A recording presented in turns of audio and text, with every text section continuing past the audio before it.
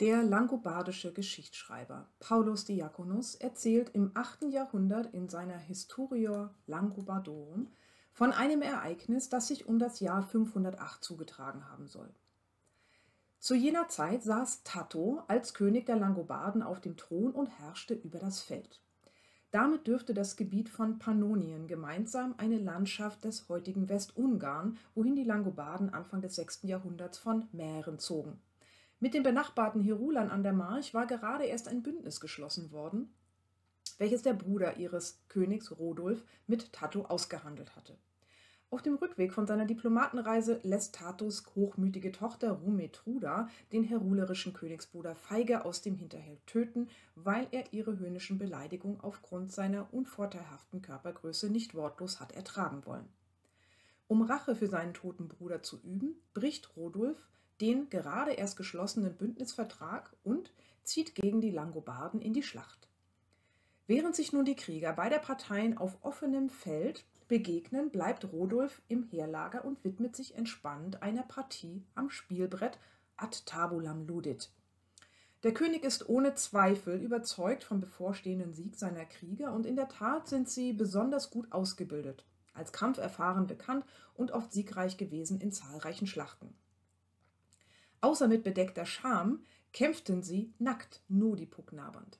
Entweder, so vermutet Paulus, um sich freier zu bewegen oder aber um dem Gegner voller Hohn zu suggerieren, dass sie etwaige Wunden gering achteten.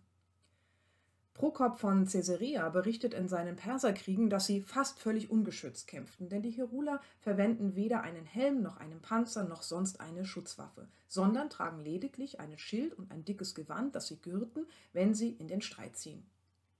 Paulus macht die nur leicht gewappneten Heruler kurzerhand nackig, wohl, damit sie sich in Rhodos übertriebener Sorglosigkeit und hoffärtigem Selbstbewusstsein gleichen. Der König spielt also ganz Sekurus in sicherem Abstand. Am Brett, ohne dass er dabei das reale Schlachtfeld überblicken würde, wofür er stattdessen einen seiner Leute auf einen nahestehenden Baum steigen lässt, um das Kampfgeschehen zu beobachten und ihm den Sieg der Heruler sofort melden zu können. Wenn dieser Späher ihm aber berichtete, dass seine Krieger die Flucht ergreifen würden, wolle er ihm den Kopf abschlagen. Vor lauter Angst, sein Leben zu verlieren, antwortet der Mann demgemäß auf die wiederholte Frage, wie die Heruler kämpften, sie täten dies ganz hervorragend. Selbst wenn noch, als die Schlachtreihe der Heruler schon wanken sah, selbst als die Truppen schließlich der Schlacht den Rücken zukehren und von Angst gepackt die Flucht antreten, getraut er sich nicht, dem König die Wahrheit von der Katastrophe zu berichten. Stattdessen entfährt ihm ein verzweifelter Ausruf. Ve tibi misera Herulia, que calestis domini plecteris ira. Wehe dir, armes Herulervolk, das durch den Zorn des himmlischen Herrschers, Herrschers gestraft wird.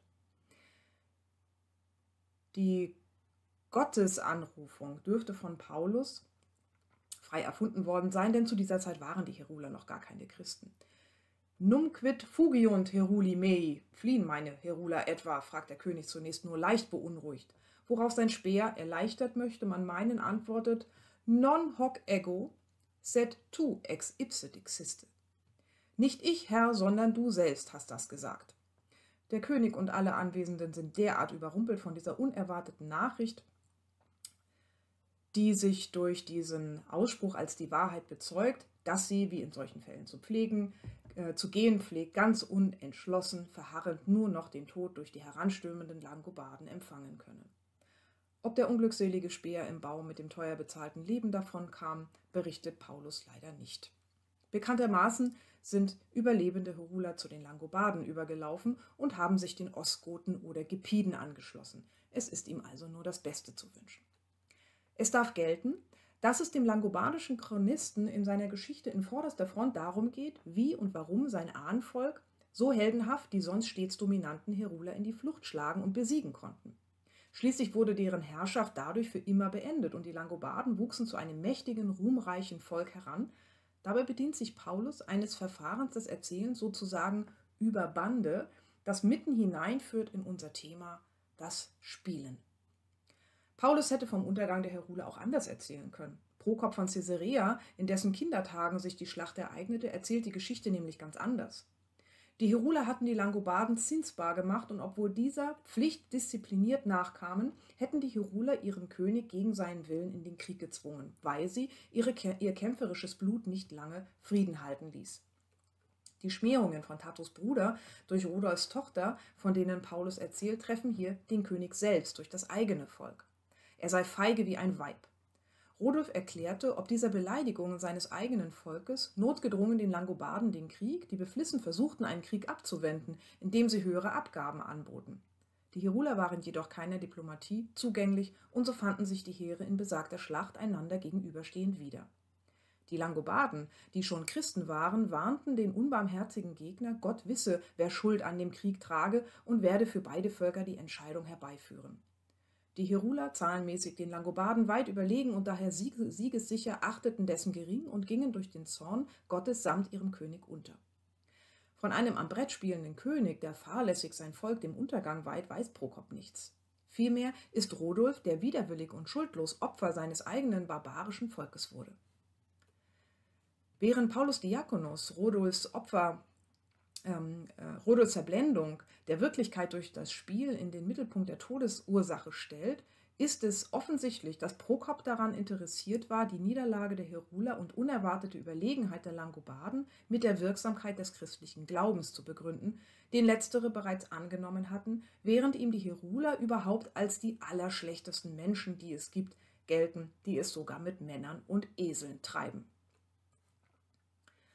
Ein näherer Blick auf die Szene in Paulus Historia zeigt folgendes Bild.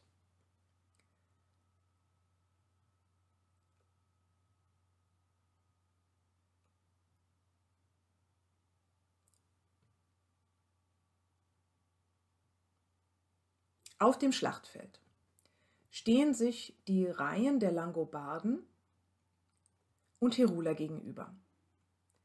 Am Rande dessen sitzt Rodolf im Lager in Castris, gleichzeitig an einem Spielbrett, einer Tabula. Obwohl Grimms deutsche Sagen Nummer 395, als welche Paulus Erzählung in die Sammlung aufgenommen wurde, Tabula als Schachtafel übersetzt, also vom mittelhochdeutschen Schachzabel ableitet, kann es sich aus historischen Gründen kaum um Schach handeln. Am ehesten ist an das römische Latrunculi zu denken, welches, Materi äh, welches Martial bereits im ersten Jahrhundert erwähnt und das vom noch älteren griechischen Peteia bzw. Polis abstammt. Dabei handelt es sich um ein Brettspiel für zwei Personen, bei dem es Ziel ist, die Spielsteine des anderen zu schlagen. Das heißt, erst einzuschließen und dann vom Brett zu nehmen. Der Name verweist auf den kriegerischen Charakter des Spiels. Offenbar war es insbesondere bei Legionären beliebt. Mit diesem Spiel also vertreibt sich Rudolf im sicheren Abstand zum Schlachtgeschehen die Zeit bis zum in seiner Erwartung jedenfalls unzweifelhaft eintretenden Sieg seiner Männer, indem er seine Spielfiguren denen des Spielpartners entgegentreibt. Der Speer im Baum ist auf der Grenze vom Heerlager zum Schlachtfeld installiert, so dass er beide Bereiche im Blick hat und mit dem König problemlos mündlich kommunizieren kann. Diese Verrichtung ließe sich so verstehen, als dass er als ein bestellter Augenzeuge zur Bekundung der Wahrheit über die mit vorläufiger Begrifflichkeit Wirklichkeit verpflichtet sei.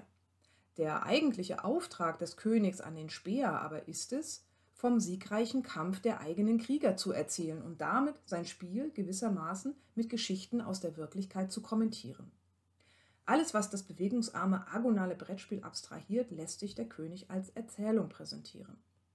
Ob es sich dabei in den Augen des Königs tatsächlich um eine narrative Konkretisierung eines abstrakten Spiels handelt, mag man bezweifeln, denn üblicherweise ist nämlich nicht vorgesehen, dass Könige beim Brettspiel verlieren. Und wenn dies doch geschieht, muss jemand dafür mit dem Leben bezahlen. Daher scheint es auch ganz typisch, dass Rudolfs Spiel Gegner gar nicht erwähnt wird. Es gibt ihn im Prinzip in der Logik agonaler Auseinandersetzung, an der ein König höchstpersönlich beteiligt ist, gar nicht. Aufgrund dieser Spielregel, die traditionell zum königlichen Spiel in der Literatur gehört, ist der Fiktionalitätskontrakt zwischen Spiel und Wirklichkeit von vornherein immer schon brüchig. Gleichzeitig garantiert dies dem Herrscher stets eine Siegeskoinzidenz von Spiel und Schlacht. Der Umstand, dass Rodolf überhaupt ad tabulam ludit, kann als ein Ausdruck der Vorwegnahme dieses sicheren Sieges gelten. Dieser Spielregel hat sich unter Androhung des Todes auch der Speer zu beugen. Er ist der eigentliche Gegner im Spiel mit dem König, weshalb er eben nicht wirklichkeitsgetreu berichten darf, wenn das Heruler Heer droht zu unterliegen. Der Mann ist somit nicht auf die faktische Wahrheit verpflichtet, sondern auf die Einhaltung der Regeln des königlichen Spiels. Der Speer im Baum ist eben nicht etwa deshalb notwendig, weil der König zu Hause geblieben oder also vom Kampfplatz entfernt gewesen wäre, sondern weil er sich in unmittelbarer Nähe des Schlachtgeschehens gezielt der Wirklichkeit entzogen hat. Der Mann im Baum ist daher auch nicht eigentlich ein Bote. Dennoch würde man gewöhnlich den Auftrag, die Schlacht zu beobachten und von ihr zu melden, mit authentischer Rede verbinden, worauf das Botenamt verpflichtet ist. Stefan Müller weist in diesem Zusammenhang auf den prekären Status des Botenamtsträgers hin, der mit dem des Speers im Baum durchaus vergleichbar ist. Das gleiche trifft die Rolle des Augenzeugen. Interessant ist der Vergleich mit dem Botenamt vor allem insofern, als dass im beschriebenen Fall Absender und Adressat zusammenfallen, zwischen denen traditionell die enge Bindung darin besteht, dass der Bote die Macht des Herrschers symbolisch zu repräsentieren hat. Authentische Rede, das heißt die vom Absender an den Adressaten aufgetragene Nachricht und wirklichkeitsgetreue Wahrheit aus der subjektiven Beobachtung stehen dabei in Konflikt. Die Rolle des Speers bleibt ontologisch ambivalent, wie das Spiel selbst. Der sichere Rückzugsort, an dem Rodolf die Nachrichten von der Schlacht empfängt, ist jedoch nur virtuell, sozusagen im Rücken der Wirklichkeit installiert. Der Mann im Baum ist das Medium, mithilfe dessen sich der König die stete Koinzidenz zwischen Schlacht und Sieg bestätigen lässt. Man kann ihn quasi als eine Art Simultanübersetzer von der Wirklichkeit in die Spielwelt verstehen. Ein Übersetzer vom wirklichen Geschehen in die Sprache der vereinbarten Regeln des Spiels. Als Medium steht der Späher zu seinem Leidwesen aber nicht außerhalb des zu Vermittelnden, sondern ist sowohl Teil der Wirklichkeit, an der er als Augenzeuge partizipiert und in der er schließlich, vermutlich, durch die Langobarden das Leben ver verliert, als auch Teil des Spiels, insofern er bei seinem Leben nach den Regeln mitspielen muss. Ein tödliches Dilemma, Befolgt er der Spielregeln, stirbt er durch die Schwerter der Langobarden mitsamt seinem König und dem Heer. Bricht er die Spielregeln, stirbt der unglückselige Speer auf Befehl des eigenen Königs. Das ist so, weil Rodolf in seiner Verblendung zwischen Wirklichkeit und Spiel keine Unterscheidung macht. Der Sieg beim Brettspiel, zu dem er durch seine Königsherrschaft prädestiniert ist, mit dem Sieg in der Schlacht auf Befehl zu koinzidieren hat. Dazu hat er einen Grund. Die Erfahrung hat ihn in der Vergangenheit, so betont es Paulus gelehrt, die Hiruler gewinnen immer und als wären sie vor aller ernster Verwundung sicher, als wäre ja gar alles ein Spiel, in dem man nicht sterben kann, kämpfen sie nackt. Weil Rodolf in unmittelbarer Nachbarschaft zur Wirklichkeit Securus ad tabulam ludit, und sich blind stellt gegenüber der Wirklichkeit, ganz wie sich seine Krieger ungeschützt den verwundeten Schwerthieben darbieten, nur medial durch einen Erzähler verbunden, dessen fiktionale Rede er selbst autorisiert hat. Sterbende Heruler und ihr König an den Folgen eines fatalen Irrtums. Das Spiel ist nämlich ontologisch ambivalent da es sich in einer Sphäre des Zwischen ansiedelt, indem es in jeder seiner Operationen immer auch Verweisungen auf die gleichzeitig existierende reale Realität mit sich führt, aber dabei nur so tut, als ob und vom Endgültigen des Lebens letztlich völlig unbeeindruckt bleibt. Jedoch, das Verweisungsverhältnis funktioniert nur in eine Richtung. Man kann Wirklichkeit zwar spielen, aber die Wirklichkeit wird deshalb nicht zum Spiel. Paulus Diakonos berichtet, natürlich wahrheitsgemäß, vom Sieg der Langobarden gegen die Heroler über die Bande eines Spielbretts, nicht nur indem er von einem spielenden König erzählt, sondern auch ganz nebenbei, wie man das macht. Von ihm erzählt man nämlich genau so. Er gewinnt immer oder es rollen Köpfe. Die Erzählung vom Brettspiel flankiert Paulus Diakonus in seiner Historio Langobardorum von zwei weiteren Szenen, die zeigen, dass die Heruler gewissermaßen den Kontakt zur Realität verloren hatten. Bei der Flucht gerieten nämlich einige, wohlbemerkt nackte Krieger, in ein Flachsfeld, das sie für ein wogendes Meer hielten, welches sie zu durchschwimmen vermöchten. Bei dem scheiternden Versuch werden sie von den Langobarden erschlagen. Der Schlacht geht außerdem die Szene voraus, in der Rodolfs Bruder von Rumethruda getötet wird. Dieser glaubt, sie wolle ihn wegen seiner hohen Stellung ehren, als sie das Fenster hinter ihm mit einem kostbaren Wandteppich verhängen lässt. Als sie das Zeichen gibt, durchbohren ihre Männer den Sorglosen von hinten durch das offene Fenster mit Speeren. Insbesondere diese Begebenheit hat signifikante Parallelen zum Brettspiel. Wie Rodolf lässt sich sein Bruder, der an der gespielten Unterwürfigkeit der Frau nicht zweifelt, mit dem Rücken vor einer Grenze nieder, hinter der der grausame Tod lauert. Diese prekäre Grenze zwischen rituell friedvoller Geselligkeit beim Wein, die mit der Gefahrlosigkeit beim Spiel korrespondiert, und lebensbedrohlicher Gewalt wird kaschiert durch die Ehrbezeigung, die der Königsbruder als seinem Stand angemessene Unterwerfung beanspruchen kann, ganz wie sich Rodolf seine eigenen Spielregeln schafft. Blind für jeden Argwohn gegenüber einer anderen ausgeblendeten Wirklichkeit finden beide den Tod als die Feinde mit ihren Waffen durch die fragile Grenze brechen. An der Art, wie Paulus vom Spielen eines Königs erzählt, die als typisch gelten darf für das literarische Spielen in der Vormoderne, lässt sich ablesen, wie weit es entfernt ist von einem allgemeinen, kulturgeschichtlich fundierten Spielbegriff oder gar dem metaphorischen Spiel der Philosophie, von dem wir im vorhergehenden Screencast dieser Reihe gesprochen haben. Demnach wären Spielregeln, denen sich die Spielenden freiwillig unterwerfen, dazu da, künstlich Gleichheit zwischen den Spielenden herzustellen und das Spiel so zu strukturieren, dass es so weit offen bleibt, dass ein ungewisser Ausgang garantiert bleibt und so weit geregelt, dass es unter gleichen Voraussetzungen wiederholbar ist. Der Tod der Spielenden ist dabei nicht vorgesehen. Vielmehr ginge in dem Fall, jedenfalls nach verbreiteter Ansicht, das Spiel in Wirklichkeit über. Es wird noch zu diskutieren sein, dass dies bisweilen von Spieltheoretikern, am, am extremsten von Georges Bataille, auch anders gesehen wurde und auch literarische Autoren erzählen besonders gern vom Tod der Spielenden, nicht nur Paulus, der auf diese Weise seine Häme gegenüber den Herulern ausdrückt.